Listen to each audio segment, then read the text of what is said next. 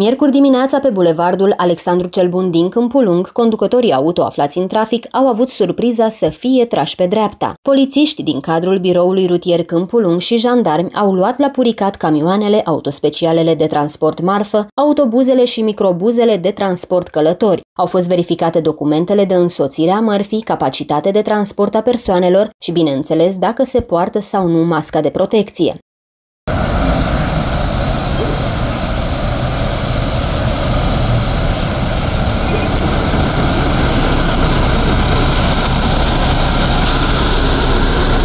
Ziua! Eliza, numesc poliția rutieră, documentele vă rugăm. Ce transportați? Taloanele și facturile vă rugăm.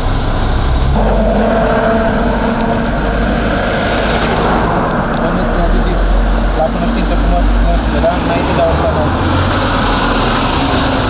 Ce duceți asta?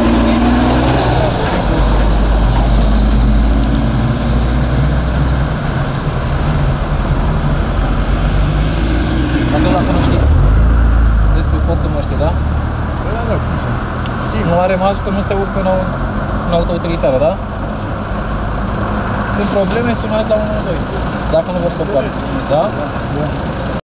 Astfel de controle vor continua și în săptămânile următoare, rolul lor fiind de a preîntâmpina anumite ilegalități și de a preveni călătorii în vederea respectării măsurilor impuse de pandemia de coronavirus.